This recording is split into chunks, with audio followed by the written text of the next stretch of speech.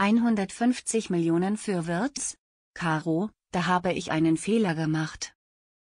Mit einem absoluter absoluter Wert von 150 Millionen Euro hatte Fernando Caro in dem Vorfeld des Europa League-Spiels zusammen mit West Ham United Leverkusens Topstar Florian Wirtz ein Preisschild umgehängt.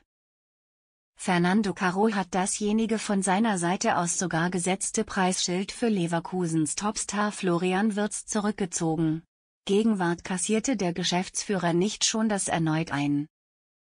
Er habe in dem Rausch der Woche hinter der Herrschaft einige Interviews auf Spanisch geführt, und da habe ich voraussichtlich zu viel geredet.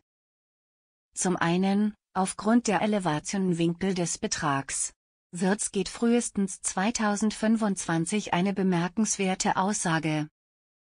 Eine Ablöse von 150 Millionen Euro würde den Transferrekord für die Saison und jene Bundesliga darstellen.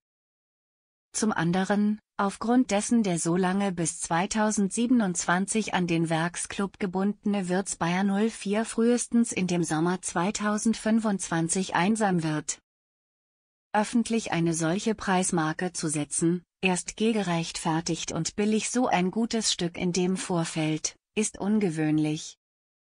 Zudem könnte der erzielbare Börsenkapitalisierung des 20-jährigen deutschen Nationalspielers nur durch eine herausragende EM in dem Sommer oder glänzende Auftritte in der Champions League in der kommenden Saison auch aufs Neue weiter ansteigen.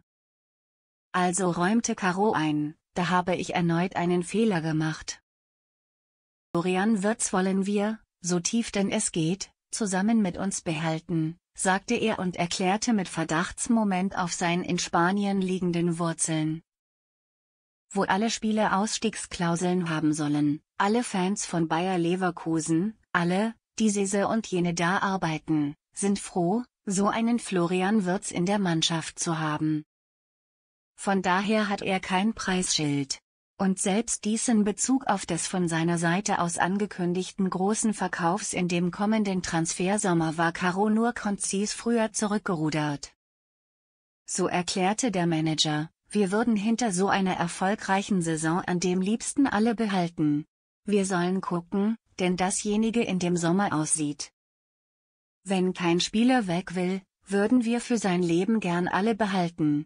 Eine Aussage, diese und jene selbst von taktischer Beschaffenheit ist. Um in der Anfang vom Ende der Saison, in der Bayer hinter der deutschen Herrschaft mit dem DFB-Pokal, Endausscheidung gegen Kaiserslautern, und der Europa League, Semifinale gegen AS Rom, zwei sonstige Anrede fördern kann. Öffentliche Diskussionen extra mögliche Abgänge von Stammspielern einzudämmen. Allerdings ist diese und jene Auffassung in dem Club klar, die Leistungsträger der Meistermannschaft müssen möglichst gehalten werden. Wobei vollständig wenige Ausnahmen eben nicht ausgeschlossen sind.